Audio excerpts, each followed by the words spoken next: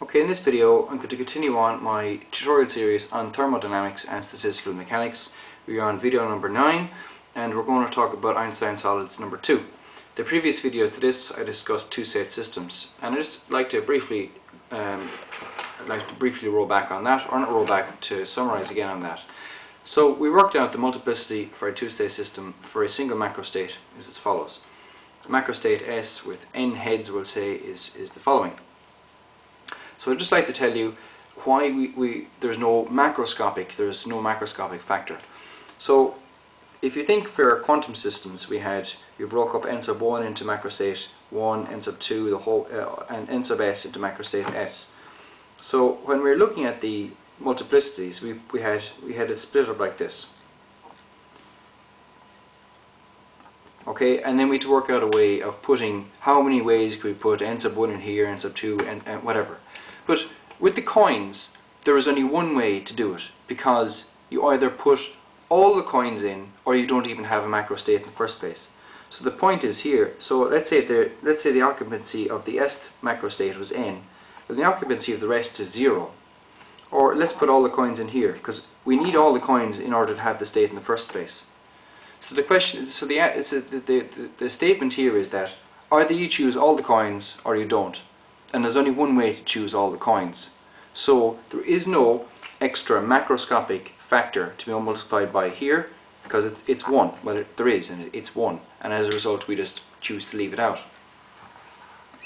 And for the same reason, whereas with our quantum systems, we, in order to, to get the total multiplicity, we had to multiply all the systems together. So you might have had this,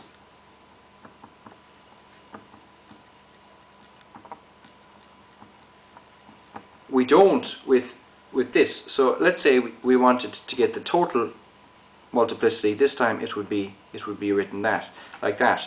And the reason is the states for the two-state system the states are dependent, whereas for the quantum systems they were independent. And if they're independent, it just increases the multiplicity, of course. So enough of that. Let's move on to Einstein solids. An Einstein solid is where we treat the energy being stored in the solid as a series of oscillating atoms, each atom oscillating as a linear harmonic oscillator. So if you want to do look at my videos on quantum linear harmonic oscillators, you can. But basically we're saying the potential energy obeys Hooke's law. So we have 1 half kx squared. Simple as. Okay? And by the way, you can see that here's C and here's Q squared if you want to look at the equipartition theorem. So this system obeys the equipartition theorem and has a half kT degree, uh, um, kinetic energy per degree freedom. So the because it's a quantum system, we'll say the energy is quantized. Okay, here are all our energy levels, and we know that the, the difference between energy levels is Planck's constant multiplied by the frequency. Alright, so the total energy is we'll say this quantum multiplied by the number of units of energy and I'm going to call that U. So from now on we can either analyze the system by looking at the total number of the total energy or by instead of looking at, at the, the quanta of energy. It's the same thing because we go from quanta to total energy by multiplying by this energy factor h nu.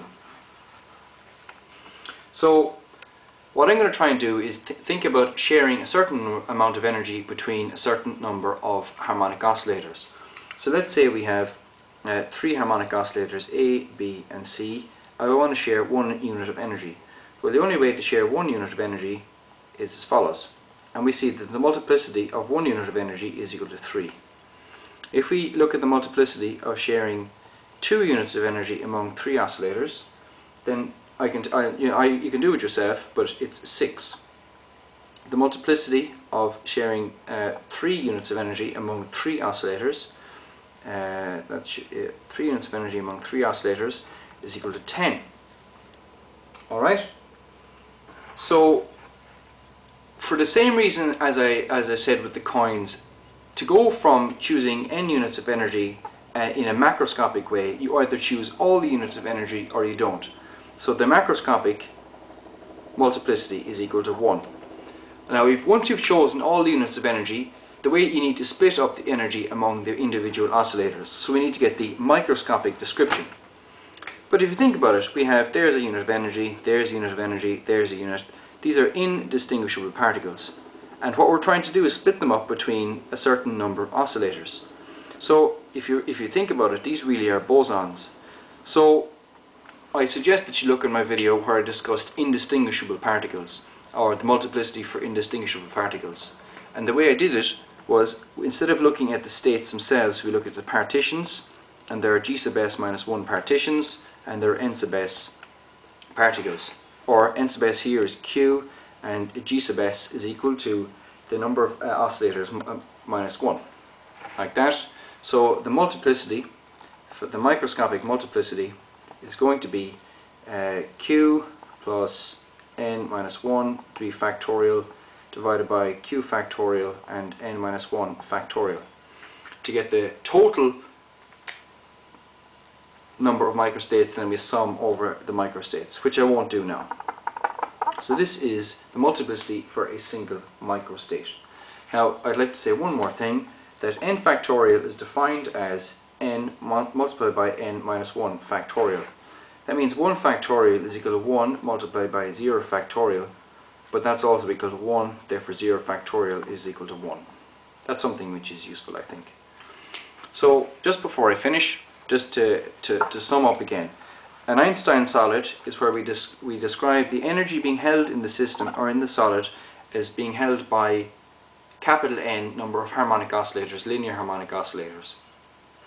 There are there's only one microscopic way of partitioning all the energy, so the microscopic description or multiplicity is 1.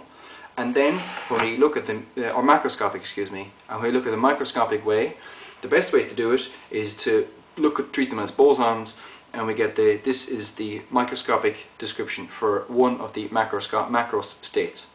So that's all I think I'm to I'm to say about that for the moment. Yeah, that's all I'm to say about that. I'm to keep the videos as short as I can.